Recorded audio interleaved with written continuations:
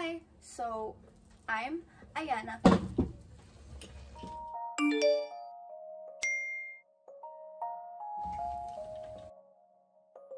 Hi, so that was a really bad attempt at an introduction. I promise I'll make a proper one soon, but for now we gotta settle with that. So today we will be unboxing and reviewing the Studio VK1200 pen display tablet by Veikk. Veikk was kind enough to not just send me this tablet, but also their Voila L pen tablet, so expect a video on that as well. And I might make a third video where I compare the pros and cons of getting a pen display tablet versus a pen tablet. This is an 11 by 6 inch screen display tablet that is compatible with Mac OS, Chrome OS, Windows, and Linux. As far as I know, it's also compatible with most drawing programs such as Photoshop, um, Clip Studio Paint, Paint Tool SAI, and etc. You can buy this tablet at Veikk's flagship store in Lazada for 8,808 pesos, but if you use my code AEYOCHI, you will get a 400 peso off voucher.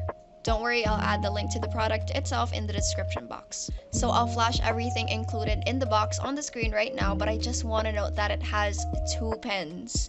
And holy smokes, 28 pen nibs. When I was younger, I was using a Wacom Intuos pen tablet, and I did not know that you could change pen nibs. So for eight whole years, I went without changing my pen nib, not even once. So I am very glad that this has a lot of those. This is me taking the tablet out of the plastic and I just want to say that it feels very high end. It doesn't feel like cheap material at all, especially considering the price, which I will talk about later on. The tablet doesn't come with a stand, so I had to use my laptop stand for the tablet.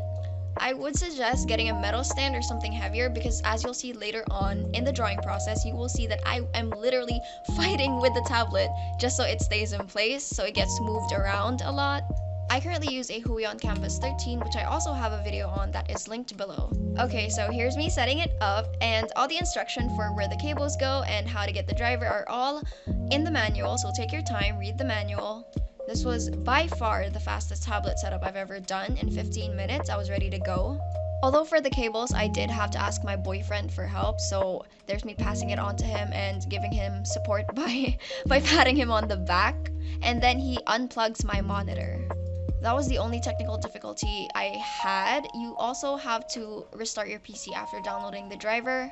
And it also says you're not allowed to have other drivers installed on your PC, but I didn't uninstall my Huion driver and it works just fine.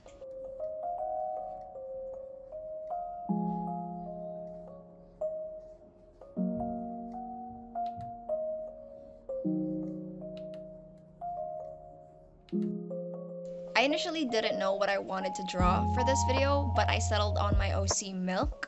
I posted a non-sped up but cut version of this speed paint to my YouTube channel, so if you want you can go check that out. Just a warning for all the snoring in there because my boyfriend was snoring in the background of that video, so yeah. So overall, here are my thoughts about the Studio VK1200. Let's start with things that I found off about it or things that I might have not liked. So I noticed that working with very small brush sizes could be difficult. Um, the calibration of the pen doesn't track well for very, very small brush sizes, so I would recommend zooming in on the canvas real good. Speaking of the calibration, once I get to the very, very, very end of the canvas, like the scroll bar on the right hand side for the layers, it's hard for me to press the scroll bar with the pen as it doesn't really find it or something. I feel like that's because I tilt my pen way too much to the right, so try using a centered tilt, I guess, to your pen so that you can select things on the very far right of the screen. Those are actually the only problems I encountered when drawing with this, which had really quick fixes. So on to the other aspects of the pen display.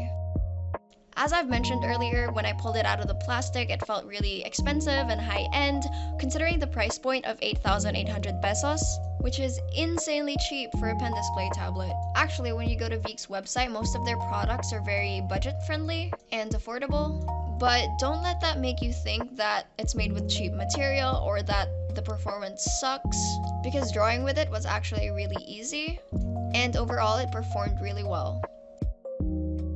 The design is also very sleek, it's not bulky, it's actually very compact. Speaking of compact, let's get into talking about the size.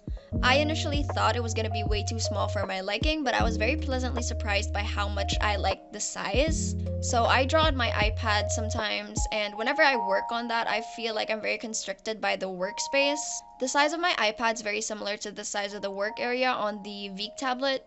I just found that the VK1200 has a wider work area. The user interface of Clip Studio Paint on the iPad is very tight compared to Windows, where it's very, very not. The size of the VK1200 was also made with the thought of portability in mind.